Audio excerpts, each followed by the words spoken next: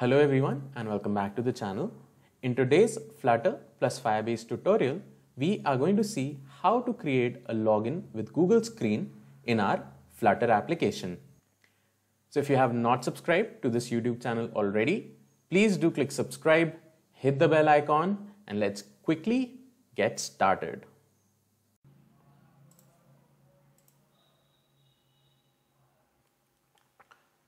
Alright, so right now you can see the state of my application as it is. We have a simple screen which shows some text which says Flutter social media.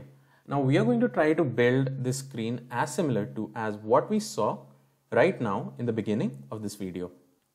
To do that, I am going to introduce a new folder within the lib folder, which we will call screens. And within the screens folder, I am going to introduce a file, which we will call home.dart. Now let me open this file and let me introduce a stateful component here or uh, you can say a stateful widget here which we will call the home widget. Let me save this.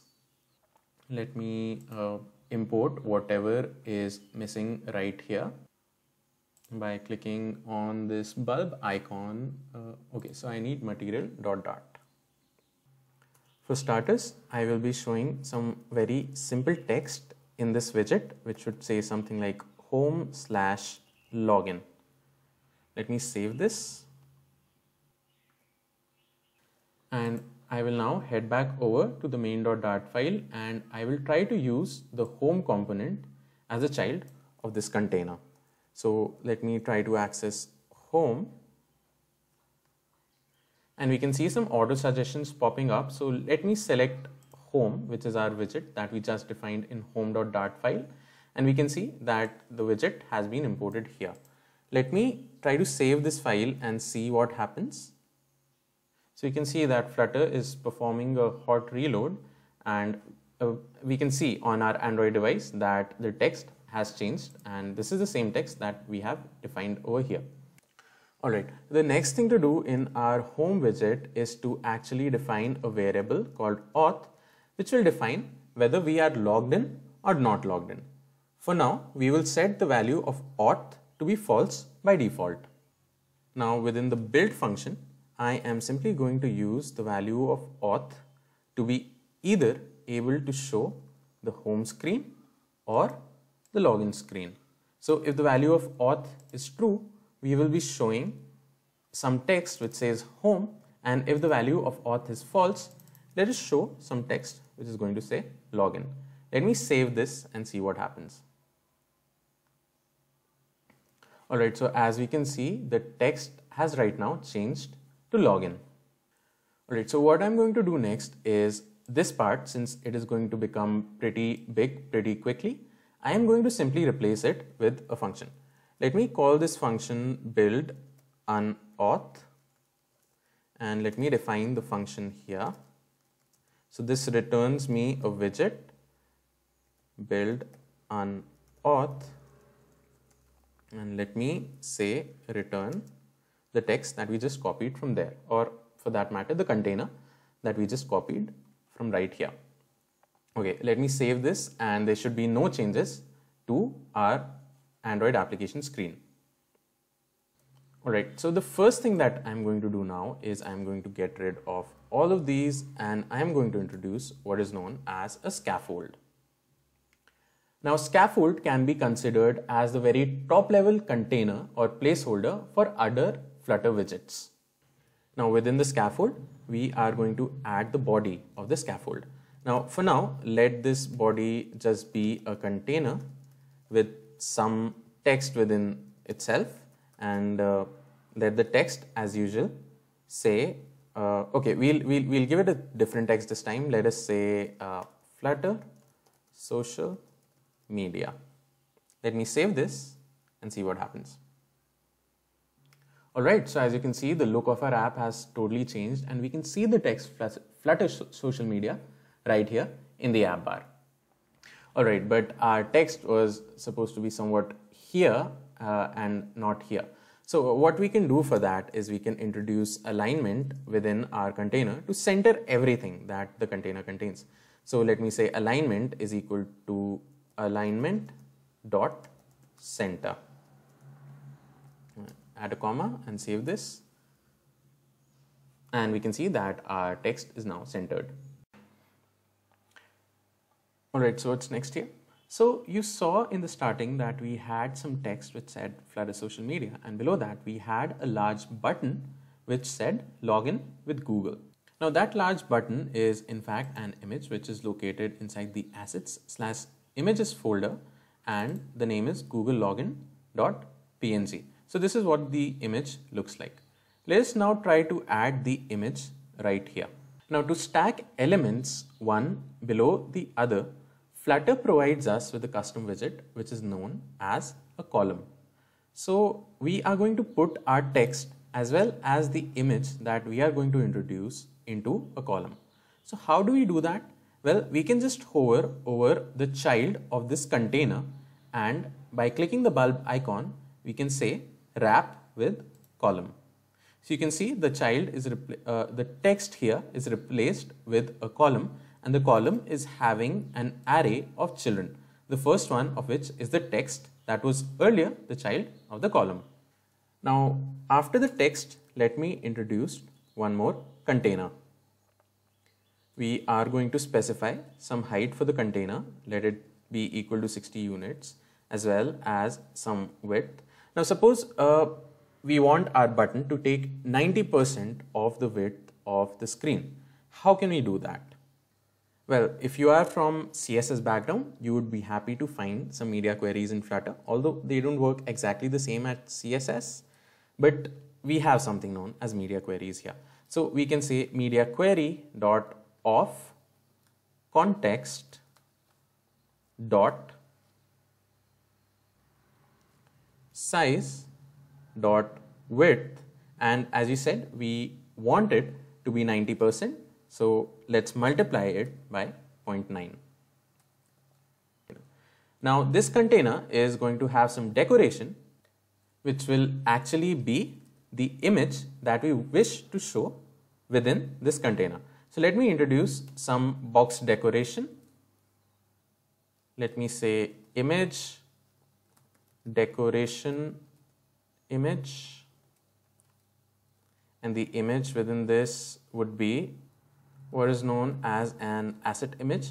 So here we can have two type of images. Either we can have an asset image or we can have a network image. Uh, but for now, since uh, this file is located in our local directory, we are going to use the assets image. So let me say asset image and let me after that give the complete path to the image or you can say the relative path to the image. Let's save this and see if we get something here. Alright, so we saved our home.dart file, but the image doesn't seem to have appeared here and our Flutter social media text has gone way up on the screen. So what's going on here? If we go ahead and check the debug console, we can see that some exception has been caught by image resource service and the asset assets images google login.png has failed to load. Now, why does this happen? Uh, well, it's, it's, it's a very common bug and it's very simple uh, to solve. So to solve this, we simply have to migrate to our pubspec.yaml file and we have to add our assets within this file. Like they have given us some example to add assets to your application, add an asset section like this, and then give the path to your images. So let us do just that.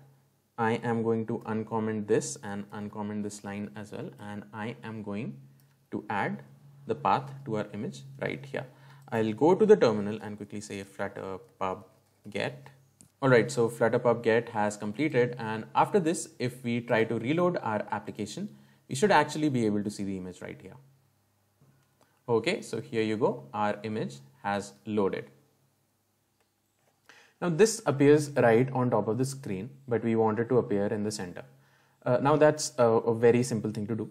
Uh, the column has a main axis that goes from top to bottom and a cross axis that follows from the left to the right. So we can align elements along the main axis of the column. Simply uh, come within the column widget and say main axis alignment, main axis alignment dot center and everything should be centered as soon as you save this file. Okay, so you can see that our elements have become centered. Now, since these two are pretty close, let me wrap the text within a padding. So if I click on the bulb icon and I say padding and okay, so 8 units is fine as far as I think. We can see that some padding has been introduced. Okay, let's just increase it a little bit, maybe to 15. Okay, cool. Now, as we saw in the starting, this outer box had a colorful gradient. So let us introduce that gradient within this outermost container. So for that, I am going to introduce some decoration, which would, which would be of type box decoration. Within box decoration, we are going to add some gradient, which was a linear gradient. Uh, and this gradient begins at alignment dot top left and ends at alignment dot bottom right. And what are the colors within this gradient? Well, the first color that will start from the top left would be colors dot amber and the color that would end the gradient at the bottom right would be colors dot purple. So let me actually go ahead and save this and let us see what happens. Okay, so our cool gradient has been introduced here. Now you might be wondering what is colors. So colors is an enum defined in the Flutter material colors.dart file, which uh, gives us many of the colors out of the box and you can use it in your code. You can also use uh, colors via hex codes, but uh, I find this way a little bit more convenient if you want to use these standard colors. Okay, then couple of final touches. Let's make this text larger and white in color. So for that, I am going to come here within uh, the text and I am going to introduce what is known, okay, not text style, but style. And uh, this will be of type text style. And the color is going to be colors dot white and the font size is going to be, let's say 24. Let us save this and we can see that our text has become larger and white in color. And now just the very, very last thing for today. We just want to make this button as clickable. So how do we do that? Well, that's pretty simple. We come to this container which contains our image and we wrap the container within a widget. This widget is going to be called gesture detector and this will have a function which is the on tap function let me introduce an anonymous function here and simply print that login with Google was tapped. All right. So let's let's add a semicolon. Sorry, that was an ex exclamation, and uh, let's come out to our debug console and let's try to actually uh, tap or click our login with Google button and see what happens. So as you can see that login with Google is getting printed printed right here, which shows us that this on tap function is being called when we actually tap on the gesture detector or this image on our Android application screen. And that is going to be it for this short video guys. In our next video, we are actually going to build the functionality of being able to integrate a Google login within this screen. Also, all of the code that you just saw can be easily found in this GitHub repository aedorado slash flutter sm. So please do check it out as well. So if you like the content of this video, please do give it a thumbs up. If you like the content of my channel, please click subscribe. You can hit the bell icon to never miss any new updates. And like always, thanks a lot for watching and I'll see you very soon with a brand new tutorial.